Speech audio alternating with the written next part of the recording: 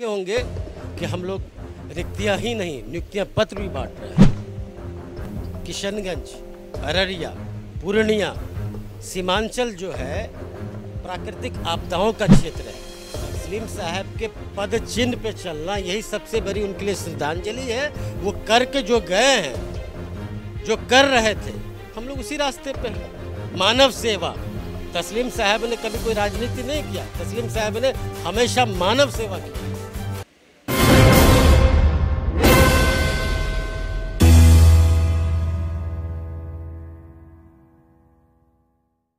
नमस्कार, मैं हूँ मनीष, आप देख रहे हैं the news nine X. The news nine X में आप सभी का स्वागत है। साथ इस वक्त राजद के मंत्री शहनवाज जी हैं। शहनवाज जी, हम शॉर्ट में आपका समय लेंगे, ज़्यादा नहीं लेंगे। शहनवाज जी, सत्ता परिवर्तन हुआ, इससे क्या आशाएँ हुई?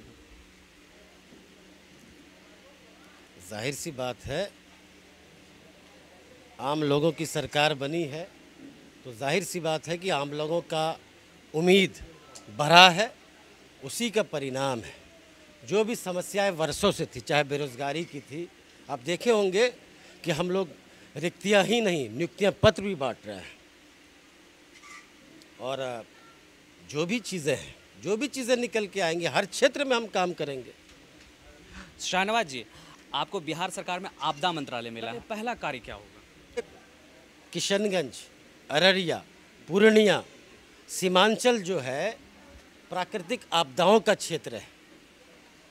जब बाढ़ आता है या किसी तरह की त्रासदी आती है अभी सुखार पे हम लोगों ने जिस ज़िलों में शिकार सुखार की स्थिति उत्पन्न थी जहाँ अल्प वर्षा हुआ आपने देखा होगा हम लोगों ने वैसे ज़िलों के पंचायतों टोलों मोहल्लों को चिन्हित करके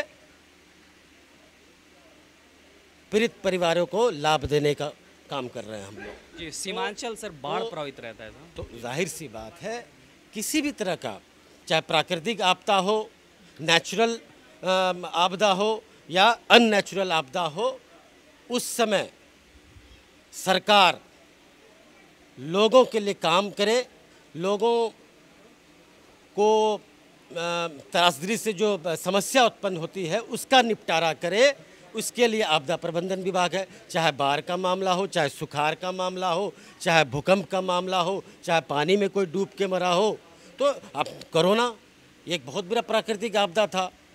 हम धन्यवाद देना चाहेंगे आदरणीय मुख्यमंत्री जी को और उप मुख्यमंत्री तेजस्वी यादव जी को जितने भी मौतें हुई थी कोरोना को लेकर के।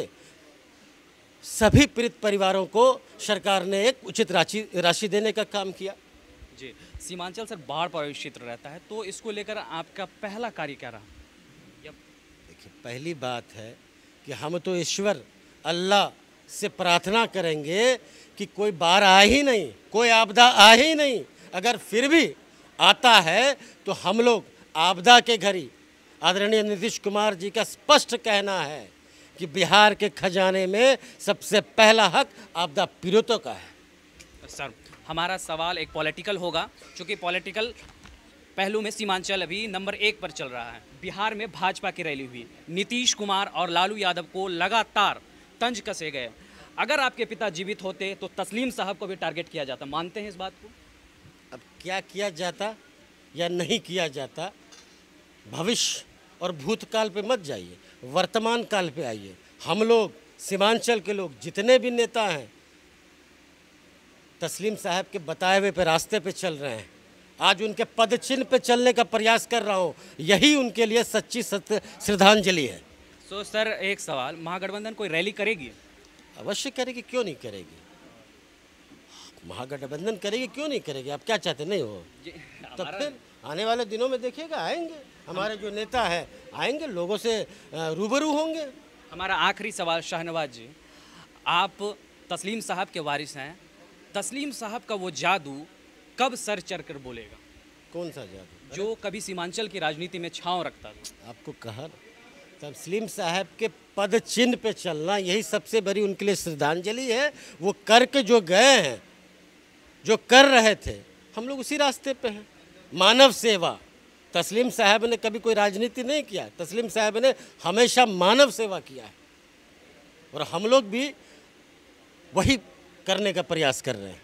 बहुत बहुत शुक्रिया। मंत्री शाहनवाज जी, बहरहाल आपको हमारा इंटरव्यू कैसा लगा, आप अपनी राय हमारे कमेंट बॉक्स में ज़रूर दें। अगर आप हमारा यह वीडियो फेसबुक पे देख रहे तो हमारा फेसबुक पेज लाइक करें। अगर आप हमारा ये वीडियो यूट्यूब पर देख रहे तो हमारा YouTube channel the news nine subscribe ज़रूर करें शुक्रिया।